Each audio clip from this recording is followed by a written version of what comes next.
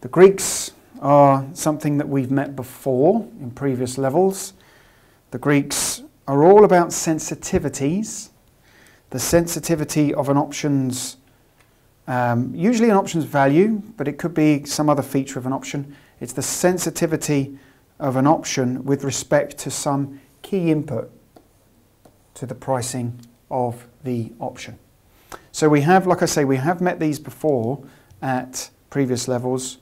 Um, the, uh, the key thing with the Greeks to keep in mind when you're looking at them is that all they are is, as I say, a measure of sensitivity. How much something to do with the option changes, usually premium, relative to some key variable which drives that value. So the first Greek that we'll look at is the delta of an option. The delta of an option is the change in the option's premium or price for a dollar change in the underlying. So if you like, this is the sensitivity of the option's value relative to the value of the underlying, um, the spot asset. Um, they call it stock here, but we mean spot underlying asset. Now, in previous modules, we spent a lot of time dealing with the basic payoffs of the four different option positions. And you know what I'm going to draw here. All right, there's my options diamond once more. Okay, this is, uh,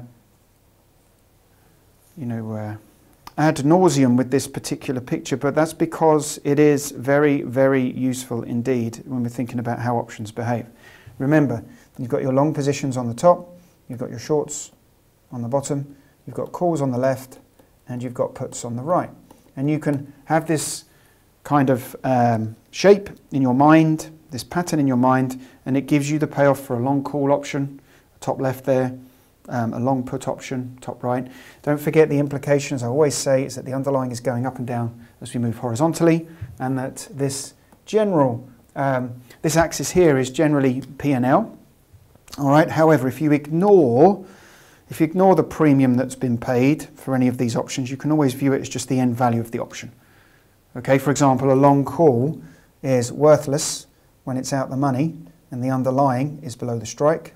Strike is where these lines change direction. Okay, um, it's in the money when you're getting to buy at X something that's worth more than X. That's just putting a little bit of colour on these diagrams, which you know has always been the implication. With puts, of course, with long puts, they go into the money when um, the underlying falls below the strike and they're out of the money and worthless, zero value if you like, when the underlying is above that price, that strike price that you can choose to sell the underlying at. So, and once again, I'll just reinforce what I've said in earlier modules, and that is the short side can just be viewed as a negative kind of reflection of the long side. And uh, if you do that, that's the most efficient way, I think, of dealing with the short side of options. Now what we're going to do when we think about delta is we're going to acknowledge that these payoff diagrams are at expiry. That's something that's always been a default assumption. These payoff diagrams, or the way I'm going to view them now, value diagrams, they're always at expiry. In other words, there's no time left for um, to go for these options. And I'm just going to um, focus on the long side because I think that's probably the most useful thing to do and give myself a little bit more room here. There's a long call, top left of the options diamond. And what we've said is that this is the value of the call at expiry. Prior to expiry, what you'd expect to see is the option to have a little bit of time value, all right? That hockey stick is actually the intrinsic value of the option. It's how much you get from the exercise decision. Prior to expiry, you'd expect the option to have a little bit of time value and trade above that blue hockey stick. So this is what a long call would look like prior to expiry. Prior to expiry. It will trade along that red curve.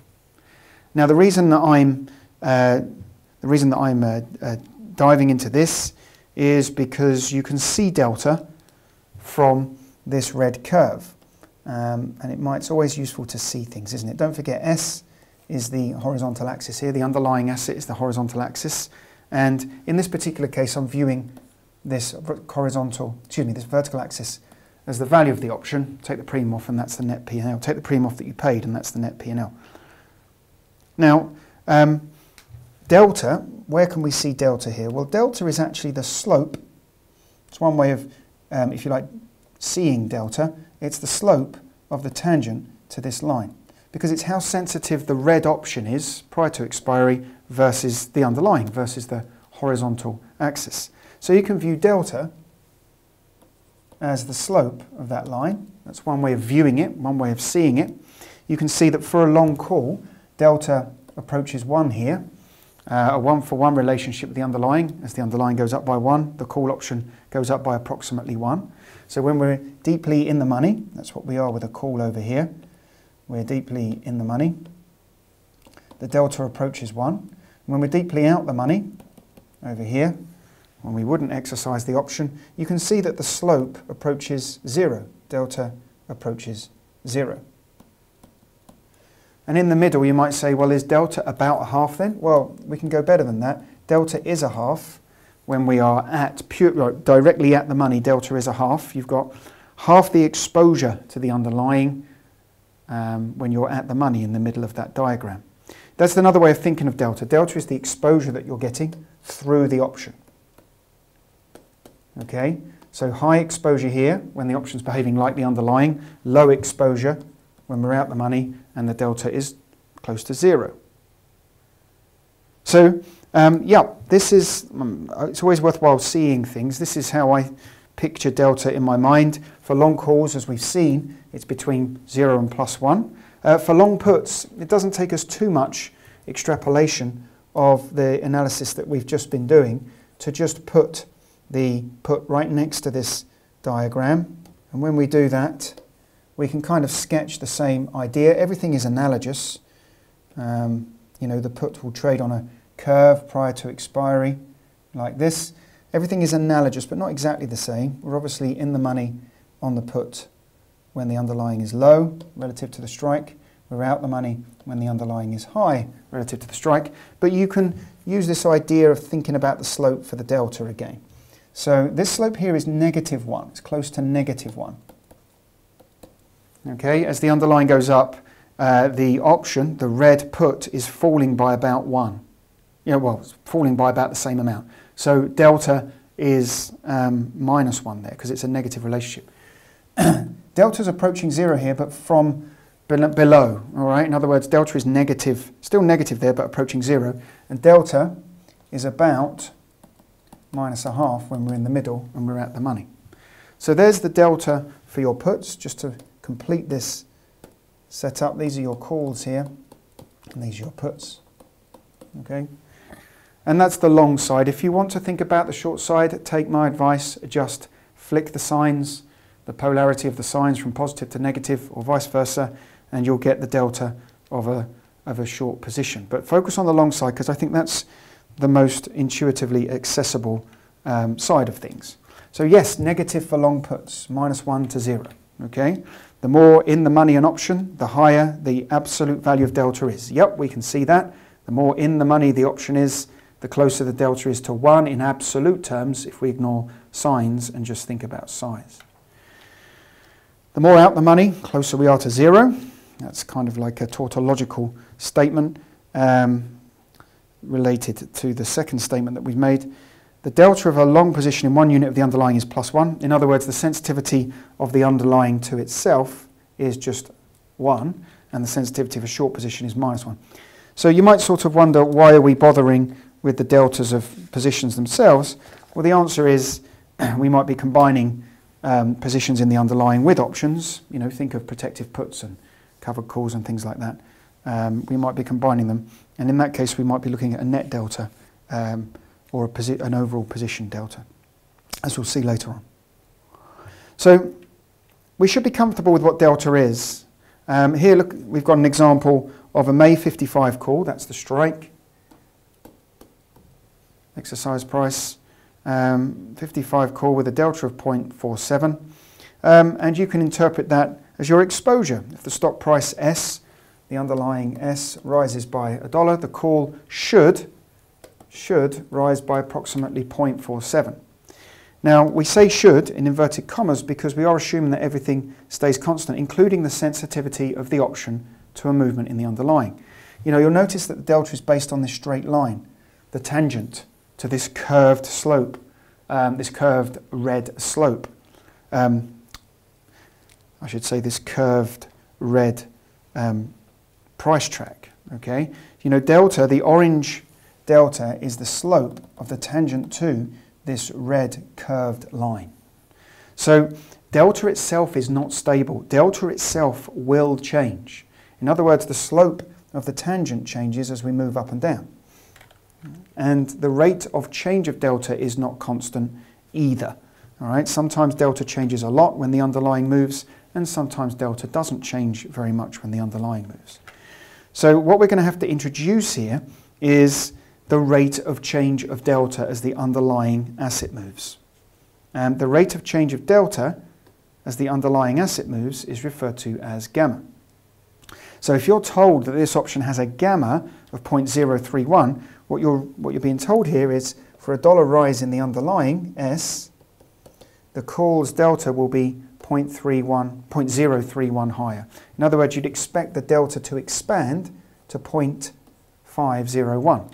And all we're really saying here is, you know, if the delta was 0.47 about here, all right, when the underlying moves up, the tangent increases, the slope of the tangent increases, um, and the delta expands to 0.5.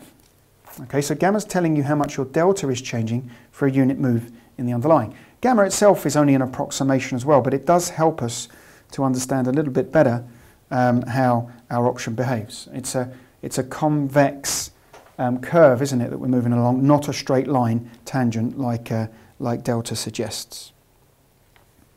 So yes, gamma is the change in delta for a dollar change in the stock price. Um, let's try and visualize how gamma behaves. Uh, the, the, the, the, easy way to think about it is it's the curvature of the red line. It's how much the slope of the red line is changing when we shift the underlying asset around. That's what gamma is.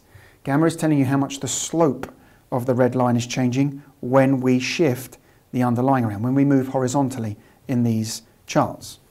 So if you think about it, when we shift the underlying around, to see gamma you have to ask the question, has the slope of the red line moved very much? If it has, you've got a high gamma. If it hasn't, you've got a low gamma. Or a very easy way to see it is to think, is the red line very curved? The red line is not very curved here.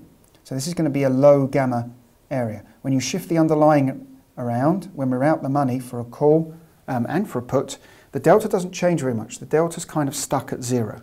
This red line is a relatively straight line. You shift the underlying around, the delta is pretty stable, so gamma is low. And similarly over here, when we're deeply in the money, if you shift the underlying around, delta is stable at 1. It's stuck at 1. It doesn't move around very much. So when we think of gamma, you know, you can see the red line is a pretty much straight line. The slope isn't changing very much when we shift the underlying around and move horizontally. Delta is stuck at, stuck at 1. It's in the middle here, isn't it, where we've got the most curvature, where delta changes most for a unit moving the underlying, in other words, moving horizontally. So gamma is maximized, if the yellow um, curve here is gamma, gamma is maximized when we are at the money, in the middle. That's where we've got most curvature. That's where our um, rate of change of the tangent, the curvature, is highest. You can always think of gamma, I like to think of gamma as how fast we're changing direction. You know you get g-force when you change direction. You know fighter pilots need to be trained in um, dealing with g-force when they change direction. All right, it's acceleration, changing, changing speed, changing direction rather than the direction itself. So I always think of g-force. Gamma is g-force, the rate at which you're going around corners, the rate at which you're changing direction. Um, and um, if you think about it like that, you'd get the biggest g-force when you go around corners, and the biggest corners, biggest curvature is in the middle there. So you'll see the slides are agreeing with us here. We've got positive gamma. Well, um, I didn't explicitly allude to that, but let's just check that we can see that from our picture. Don't forget what gamma is. Gamma is the change in delta, it's change in delta relative to a change in the underlying. So now a change in the underlying in this particular graphic um, is, let's make the colour a little bit more user-friendly. So it's change in delta relative to change in the underlying. That's what gamma is. So um, a change in the underlying, you can just kind of move to the right and think what happens to delta, because that's what, that's what it means to change the underlying. Underlying goes up, we move to the right. Well, as the underlying goes up and we move to the right here, you'll see delta goes up. So that's a positive relationship, isn't it? S goes up, move to the right, delta goes up from 0 to 1. That's a positive relationship. That's positive gamma. Um, you, now, you might make the mistake of thinking, well, the put must be the opposite. No, that's wrong. Check this out. As the underlying goes up, as S goes up, delta increases. It gets less negative. It goes from minus 1 up to 0. So it's still a positive relationship between delta and the underlying for a long put. Okay? So yes, long options have positive gamma. That means short options have negative gamma, but that's, you know, once again, you can use the general rule here that short positions are the negative of long positions. That generally does work. We've already said that gamma is greatest for at the money options. We've said that. That's why my yellow um, kind of bell curve there is peaked when we're at the money in the middle here. That's where curvature is greatest. The corners are sharpest. And by the way, as we approach expiry, you know, this red price track might have a month to go. If I let time pass and I move on to this green price track, there's less time to go, less time value, and it makes the cornering sharper, doesn't it? See that? That corner there was sharper. So as we approach expiry, we go around sharper corners, we get more g-force. You'll find higher gamma for options that are closer to expiry. Higher rates of change of delta when we're closer to expiry. In fact, that kink there, when we are at expiry, that kink in the blue hockey stick, um, that is like infinite gamma, isn't it? Because the delta goes from zero and then suddenly flicks to one. So rate of change there is like, you know, undefined, then undefined in terms of being infinitely big. Okay, so um, let's move away from gamma. Let's talk about theta. Theta's nice and easy to remember. T for theta, T for time. Uh, the impact of changing time on an option. Now, uh, we should be aware, we did mention briefly in the options refresher, that time is against option holders. If nothing else happens and time passes, the option um, time value will usually fall uh, from being positive down to zero and time decay hurts. That time decay hurts the holder of options. So usually theta is negative for long option positions because time runs out for option holders.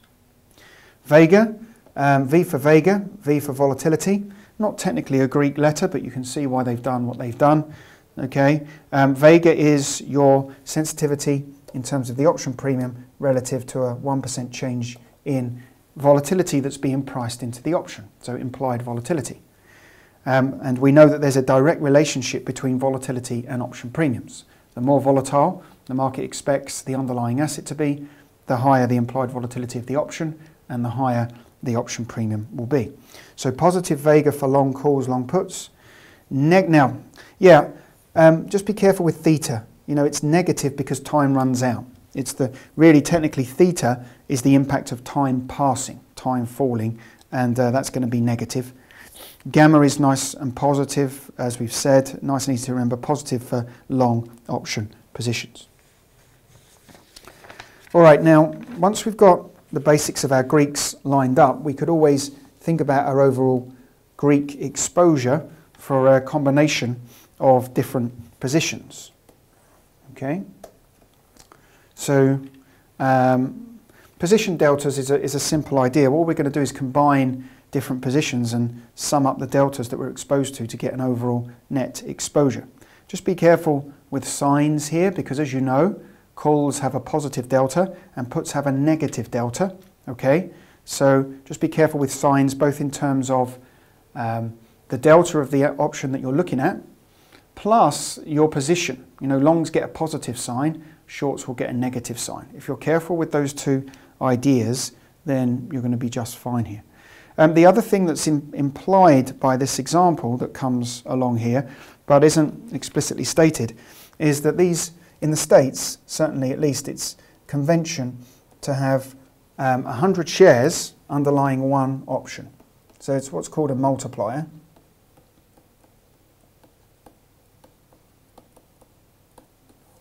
Okay, so whilst delta gives you an exposure with regards to um, how much the option behaves like the underlying, uh, there might very well be a multiplier, which for the, US um, in the exam, I'm sure they would tell you. They haven't got um, you know, uh, a track record of not telling you these things in the exam. They do tend to tell you these market conventions, all right? But in the book, they would tell you there's 100 shares per option. In the uh, example here, we're going to go with that as a default assumption. So look, if you've got, if you've actually got a thousand shares in a company XYZ, and then you buy some puts, you buy 10 puts with 100 shares underlying each put. That's thousand shares underlying the puts in total, but your delta gives you the actual exposure that you're getting through the options. Your delta here is, um, well, it's, it's going to be negative because it's a put, which is a bearish position. That's no surprise. But um, in terms of your net exposure, here are your shares, thousand shares, and don't forget the underlying has a sensitivity to itself of one, trivially. It's, it moves in line with itself. But here are your options. 10 options, 10 puts, your long 10 puts. There's 100 shares per option. That's where the multiplier comes in. Okay, and there's your negative delta, which really reflects the fact that puts are a bearish position. So your overall net delta or position delta here is 400. What that means is you haven't fully offset the position. If you think of delta as exposure, the exposure that you're getting through the puts, which is only 60% of the underlying um, short, because it's negative, is not outlying the full 100% of the position that you've got in your long 1,000 shares um, uh, position. So it, it offsets some of the positive exposure in the stock, but not all of it. And if the share price falls by um, $1, you've still got this 400 share exposure. You'd expect to lose $400 because each of your, um, for every dollar loss, you've got exposure of 400 shares effectively. Okay? Um, so that's the practical application. This 400 here is really telling you how many shares you are exposed to. So a dollar loss on those shares means a four, translates into a $400 um, loss in your portfolio. All right, we're going to consider some of the strategies that we looked at in previous modules now with regards to deltas. So you'll remember um, a protective put. Protective put is long the underlying, okay, S plus P. And you'll remember in previous models we did make a big deal of um, the uh, simplified put call parity. You remember put call parity says C minus P is, well, it's a geared position in the underlying. It's a synthetic long, so you could view it as a forward position or a geared position in the underlying. All right, that's the most basic form of put call parity. When we kind of, well, that's, that's, uh, that's put call parity when you use the underlying stock price. Um, you could always use put call parity based on the forward contract as well, but we've already discussed that. Um, to simplify this, I say um, this is a basic version of it. You can simplify this a little bit more. If we ignore the gearing that we've used to fund the position, then you can say C minus P is a synthetic long. It's something that we have, um, you know, it synthesizes exposure to the underlying asset. It's something that we've said um, a lot over previous modules. And when you think about the protective put, and you think of it as S plus P, you can rearrange this equation and say it's going to give you essentially a long call-like exposure. At this stage, you know, that's the top left of the option diamond. You know, um, a protective put is like a long call. So we know what's going to happen here when we think about a protective put is that we're going to end up with a positive delta because a call has a positive delta, as you'll remember, and that's what we're synthesizing. In fact, this is really just leading on from the previous example that we did. That previous example was a protective put, wasn't it? Um, you know, the net exposure of the protective put is going to be like a long call, all right, because we are synthesizing a long call by having a protective put.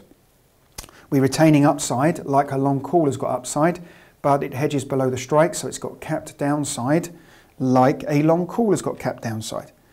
Um, Pre-expiry, if the stock rises significantly, the put falls to be out of the money, and we end up with a delta of plus one, which is what happens with a long call.